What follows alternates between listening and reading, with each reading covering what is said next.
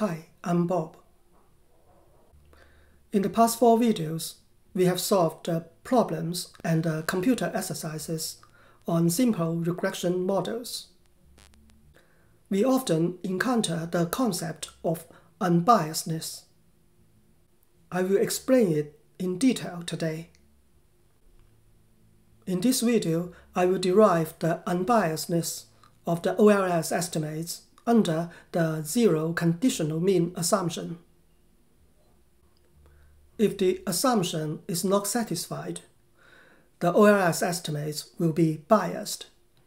I will show you the omitted variable bias and its direction.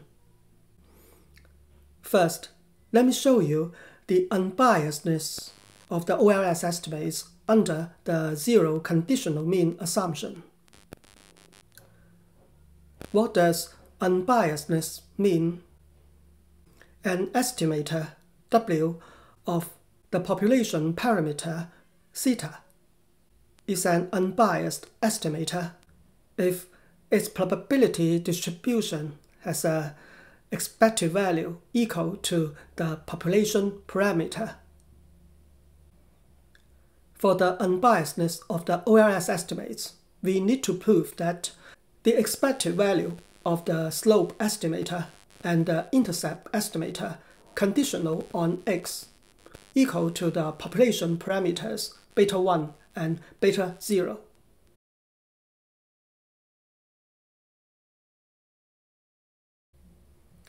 Suppose the population relationship between y and x is y equals beta 0 plus beta 1 times x plus mu.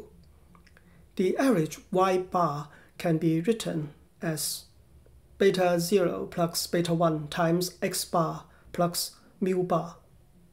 y is the outcome variable or dependent variable. x is the explanatory variable or independent variable. Mu is the error term or disturbance. In video number 5, we have derived the OLS slope estimator beta 1 hat. We plug in the expressions of yi and y bar and write beta 1 hat in terms of the population coefficient and error terms. After some algebra, we can write beta hat 1 in two terms.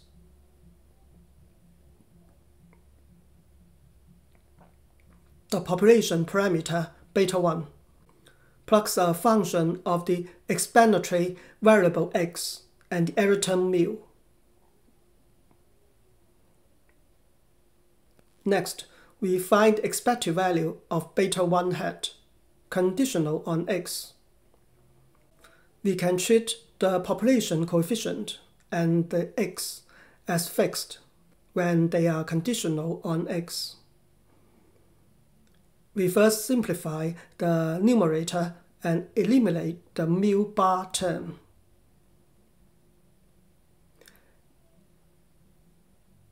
Then we write the numerator in two terms and try to show that both have zero expectations conditional on x.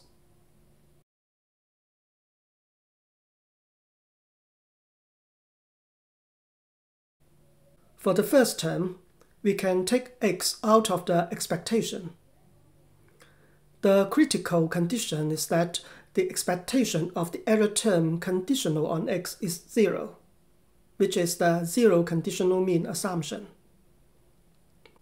The second term also depends on the zero conditional mean assumption. If the assumption holds, the expectation of the OLS estimator, beta 1 hat, conditional on x, equals the population parameter beta 1. In other words, if the zero conditional mean assumption holds, the OLS slope estimator is unbiased. we can prove that the OLS intercept estimator is also unbiased. Recall that the intercept estimator equals y bar minus beta 1 hat times x bar. After substituting the expression of the y bar, we can write the beta 0 hat as two terms. The first term is the population parameter, beta 0. We need to show that the expectation of the second term conditional on x is 0. Using the result that beta 1 hat is an unbiased estimator of beta 1, we can show that the expected value of beta 0 hat equals beta 0.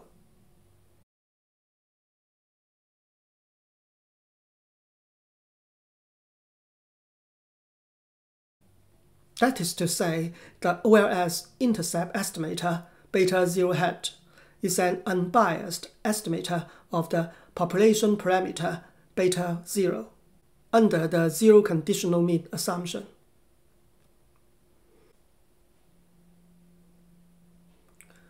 I would also like to introduce the proof using matrix notation.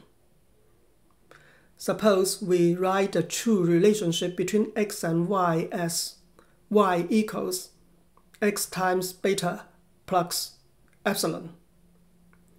Here, y, beta, and epsilon are column vectors.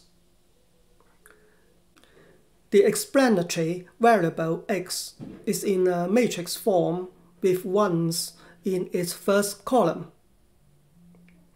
I write an example with five observations.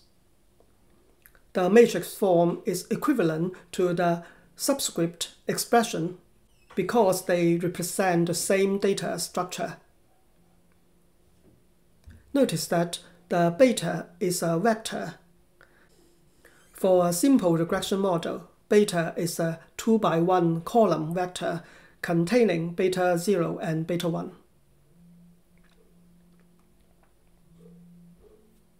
Using the matrix notation, we can prove the unbiasedness of the OLS estimators as follows.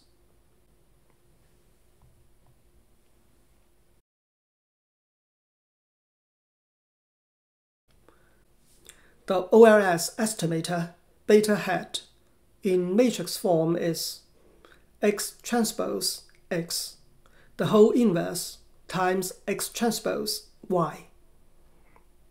The trick to show it is unbiased is to replace y with its true relationship with x, and then write beta hat in two terms.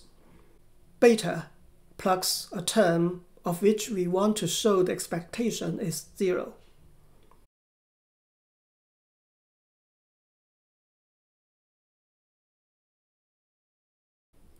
The key is to use the zero conditional mean assumption to prove that it is zero. So the OLS estimates are unbiased.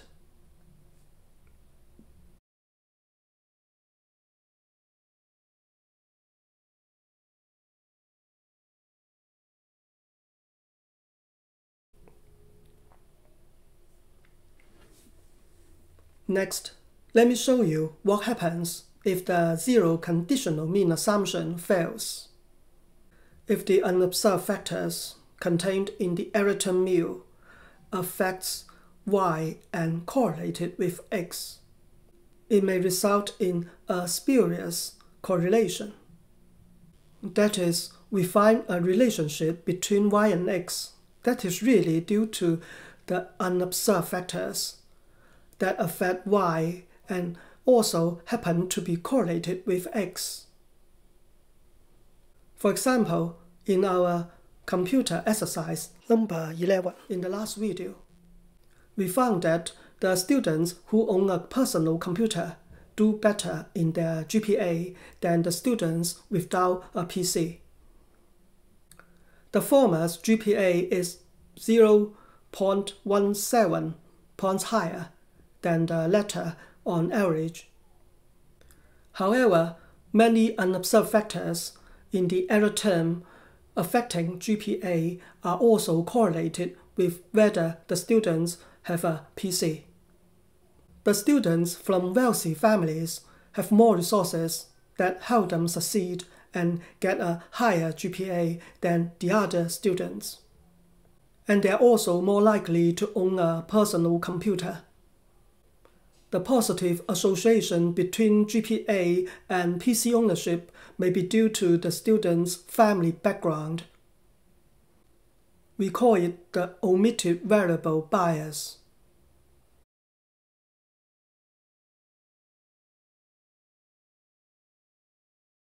To show the omitted variable bias, I use the matrix form. Suppose the true population relationship is y equals beta 1 times x1 plus beta 2 times x2 plus epsilon. We assume that the error term epsilon satisfies the zero conditional mean assumption. That is, it's not correlated with x1 and x2.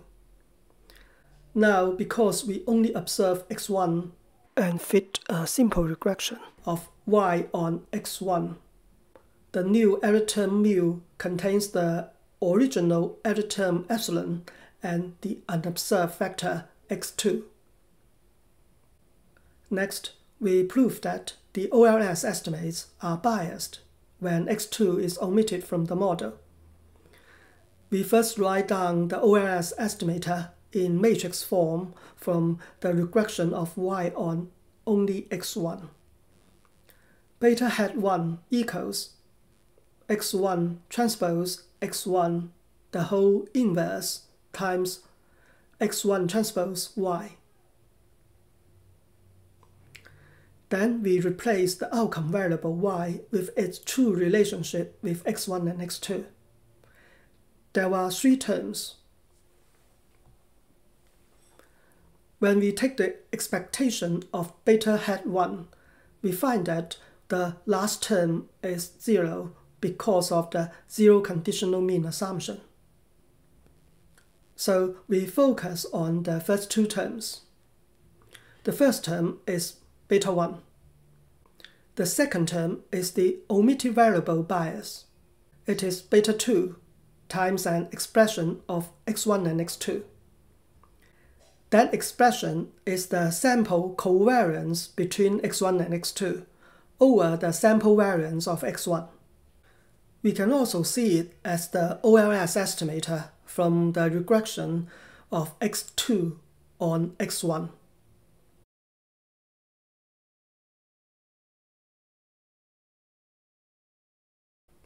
it has the same sign as the covariance between x1 and x2.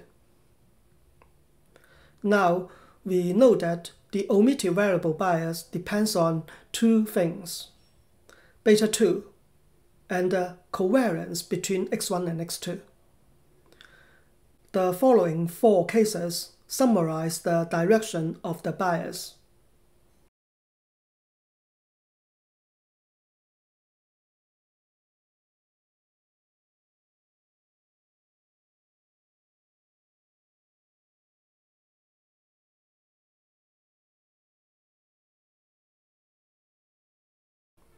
If beta 2 and the covariance have the same sign, there will be an upward bias. The OLS estimate is higher than the true value. If beta 2 and the covariance have opposite signs, there will be a downward bias. The OLS estimate is lower than the true value. In the GPA and PC example, GPA is Y and PC ownership is X1. We can see the family income as X2. Family income is omitted from the model. Generally speaking, family income has a positive effect on GPA, so beta 2 is positive. Family income is also positively related to whether the student can own a PC, so the covariance between x1 and x2 is also positive. As a result, the bias falls in case 1. The OLS estimate from the simple regression is upward biased. On average, the PC effect on GPA is overrated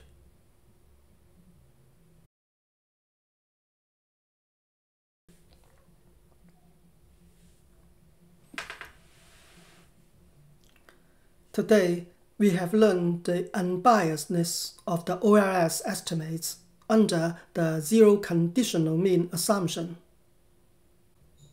When the assumption fails, that is, when the unobserved factors contained in the error term are correlated with the explanatory variable, or equivalently, the covariance between them is not zero. Then the OLS estimates are no longer unbiased. They have the omitted variable bias. Thank you very much for watching this video. See you. Thank you for watching this video and subscribing to my YouTube channel. See you next time.